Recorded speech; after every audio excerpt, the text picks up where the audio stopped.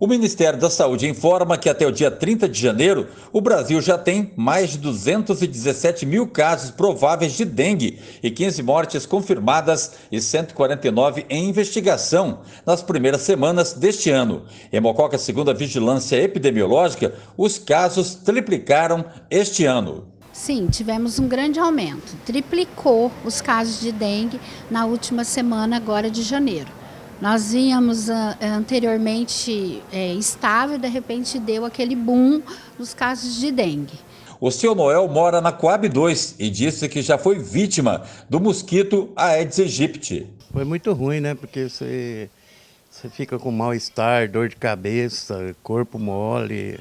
É muito desagradável, sim. A equipe de endemias não para de trabalhar na caça ao mosquito. Na residência do aposentado não foi encontrado nenhum criadouro do inseto. É, a gente tenta no máximo possível deixar limpo para não não ter criador, porque pegar dengue é muito ruim. Ah, se a gente cada um cuidar da nossa casa, vai diminuir isso bem o, o mosquito, né?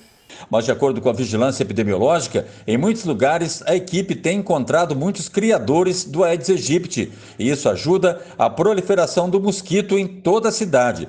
Por isso que é importante todo mundo cuidar do seu quintal e não deixar objetos que acumulam água, como vasos de plantas, e verificar constantemente também as calhas. Tem, né? Nós fazemos o acompanhamento, então assim, a vigilância, todos os casos que são notificados dentro das unidades de saúde, vem para a vigilância eh, epidemiológica, dali a gente passa para a SUSEM, onde a gente faz os bloqueios. Ou a gente, os agentes de endemia, ou fazem o bloqueio manual, ou eles usam veneno para fazer isso. Né, que é aquela bomba, acho que a população já viu, que é uma bomba que se coloca nas costas e ele faz esse, esse serviço de pulverização né, dos, dos bairros que a gente tem mais casos. Então, desde o ano passado, a gente já vem, conforme o, a, o pessoal da Endemias vai visitando as casas, né? Então, até que eu gostaria de, de pedir à população que receba os funcionários, né, para verificação dos quintais. Desde o ano passado, a gente já vem fazendo esse trabalho e já foram identificados durante esse trabalho que a gente já tinha um acúmulo e uma elevação de larvas dentro das residências, né? Que isso propaga o, mos a, a, o mosquito. Então agora, a partir de, de agora, a gente já encontrou em pratos com flor, copos descartáveis, é, garrafas PETs, né, que é, em vez de, da população colocar ela deitadinha, é, viradinha para baixo, deixa ela aberta. Nós estamos com um grande volume de chuva, né, que já vem acontecendo. Aí chuva, sol, esse mosquito prolifera. A incidência de dengue no país é de 107,1 casos para cada grupo de 100 mil habitantes. Isso representa um aumento de mais de três vezes em relação ao mesmo período do ano passado, quando o Brasil registrou mais de 65 mil casos prováveis da doença.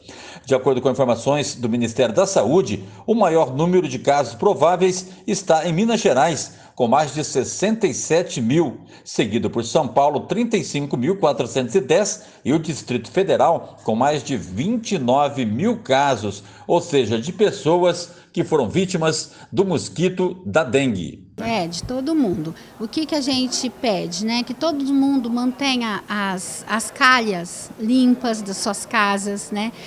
O saco de lixo, ele seja tampado ou amarrado corretamente, que não deixe pneus também, é, onde pode servir de criador da dengue, é, que a gente possa, assim, melhorar a nossa situação, né?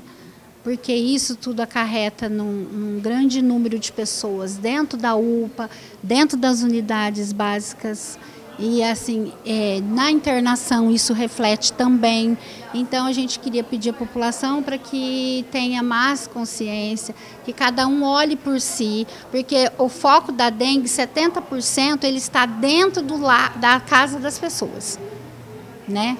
Então, se cada um cuidar do seu espacinho, eu acho, aí a gente consegue diminuir. Então a gente gostaria de, é, de dizer, todo mundo que apresentar algum sintoma, seja ele febre, dor no fundo dos olhos, dor de cabeça, procure uma unidade de saúde, marque uma consulta. Ele pode ser tanto atendido pela, pela equipe de enfermagem, recepcionado, agendada a consulta, a gente pede o exame. Então, o departamento, a Secretaria de Saúde está à disposição.